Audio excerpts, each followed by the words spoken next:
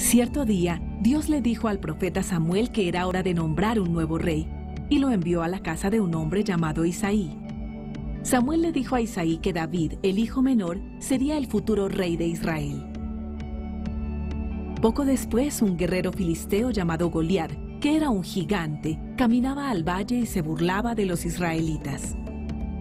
David bajó al valle, sacó una piedra, la puso en la honda y se la lanzó al filisteo. Luego David lo mató. El rey Saúl se puso muy celoso. Saúl intentó matar a David, pero él escapó al desierto. Los filisteos atacaron a los israelitas y mataron a los tres hijos de Saúl. Cuando Saúl se enteró, se puso tan triste que tomó su propia espada, cayó en ella y se mató. Luego David fue nombrado rey de Israel.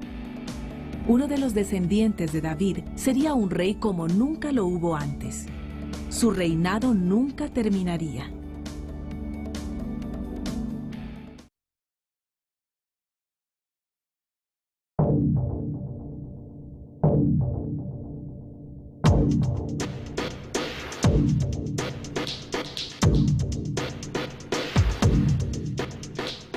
El rey David estaba caminando por el tejado de su palacio y vio una mujer bañándose en su casa.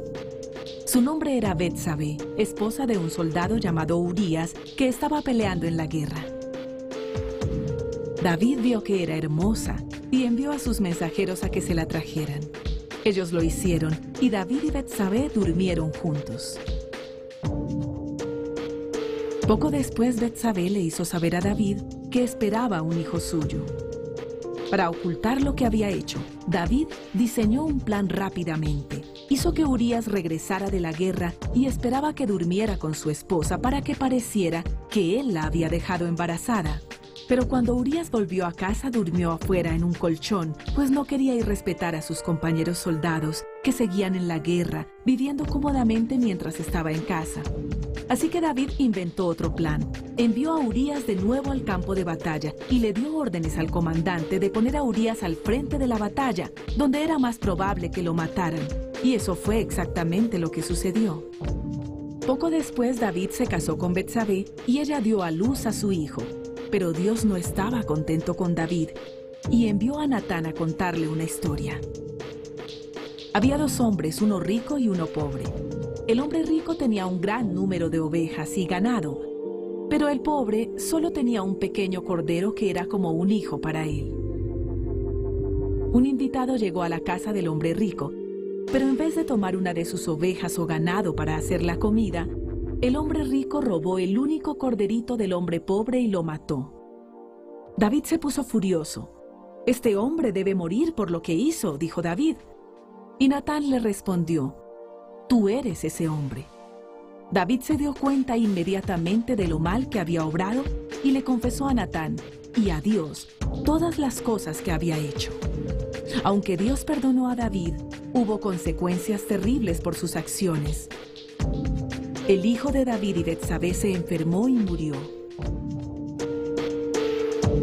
Luego, años después, su segundo hijo, Absalón, hizo algo que nadie, ni siquiera David, esperaba reunió un ejército para quitarle el reino a su padre. Antes de que empezara la batalla, David les dijo a los soldados que no mataran a Absalón. Pero durante la batalla, Absalón, que estaba montado en una mula, pasó bajo las gruesas ramas de una encina y su cabello se enredó en el árbol.